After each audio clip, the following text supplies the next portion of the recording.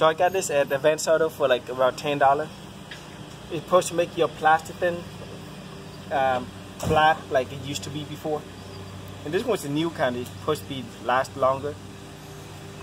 So check it up real good. But before you do that, make sure you clean it off first to get rid of all the dirt.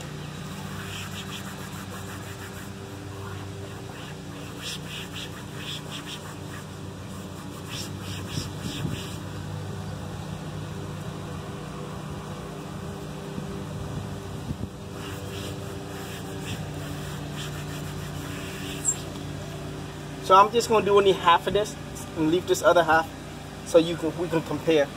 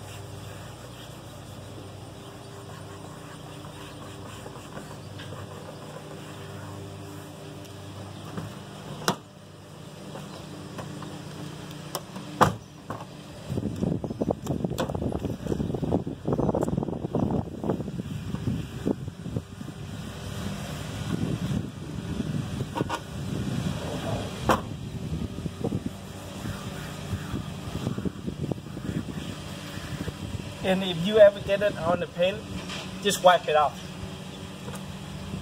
It's not a big deal.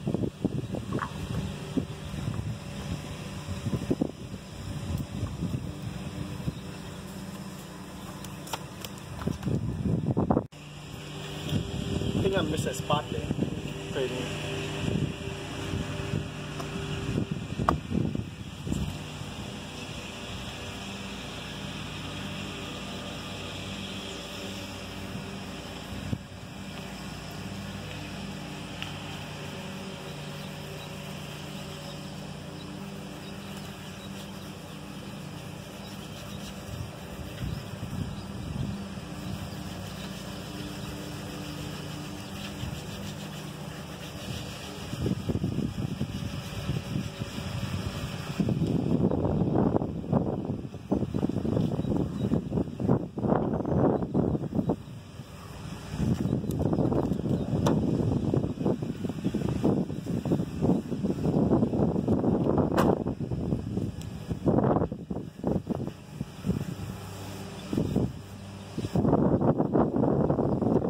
uh, I'm gonna let it dry for 20 minutes, and uh, come back and see it's still good now.